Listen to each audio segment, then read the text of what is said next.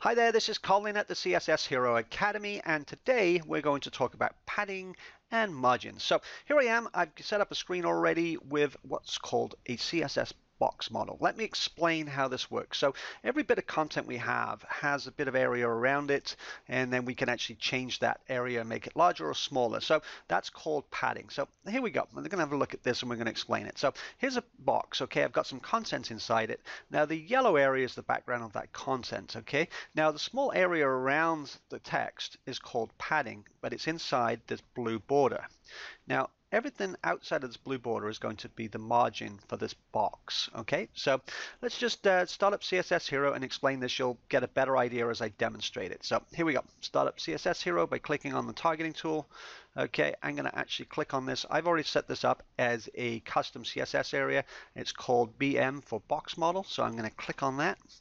Okay, so what I'm going to do first of all is I'm going to select padding and we're going to show you what padding does. So I've got padding here. As you can see, I have four sliders here and each one controls the padding for an area. So we'll start off at the top, right, bottom and left. And the reason we do that is we go around in a clockwise direction. So we start at the top, go to the right, down to the bottom, over to the left and back up to the top. So that's the reason they're in that order.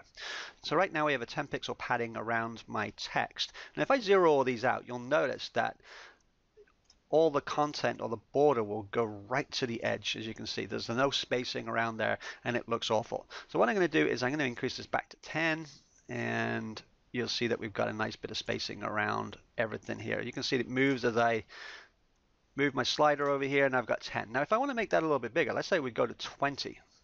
Uh, so I've got 20 around the top now and I can control these independently. So I can put 20 on the top and 20 on the bottom and then leave the sides the same. But I'm going to put all of them at 20. So now I've got a nice big 20 pixel area around my text and that looks a lot better. Okay, so that's the padding and the padding is inside of the border and around your content. So that's the first thing. Next thing we're going to do is we're going to go to the border. I'm going to show you what happens with the border. So this is actually part of the box model, but uh, let's go on border here. Now right now I have a 10 pixel border. If I zero that out, there you go. We've got no border around there. And so I've got my content, I've got my padding, there is no border, and then I've got my margin. So the margin is the white area around the box here. So I'm going to leave the border at zero and you'll see what happens here. So let's go back to margin now. And as you can see, I've got no margin around everything, so everything's zeroed out. But if I add 10 pixels here, you'll see that it pushes it down 10 pixels. And if I add to my left here, I want to push it over to the, to the right a little bit, I'm going to add some margin there. 20 pixels I've moved it over. Okay I'm going to zero this back out for now because I want to show you something else but that is how the margin works. The margin is on the outside of your box. So if I actually go back and put border back on there quickly I'm going to make it a little bit smaller this time. I'm going to put in a so you can see it a 5 pixel border. There we go. And then go back into margin you'll see that when I move this, it actually moves the whole box, including the border. So that's margin on the outside of the border. The padding is on the inside. And uh, I know it gets a little bit confusing sometimes but uh, if you look to change your padding first that will contain your content within inside the box. And if you want to move the box within inside the section then you'll want to use margin. Or you can go into the section. Like for example right now I'm in this section here.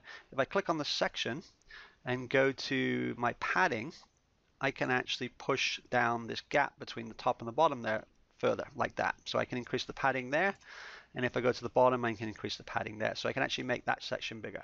I could have also done that with margin around the box but if you can use padding over margin I would do that every time because padding is a little bit more controllable than margin. So that's a quick lesson on paddings and margins. Uh, here a real world example would be to take a look at uh, this particular content I've got here.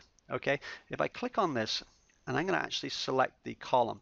Now I want to push this down a little bit, this content, so I'm going to use some padding and I'm going to push it down so it actually sits down at the bottom there.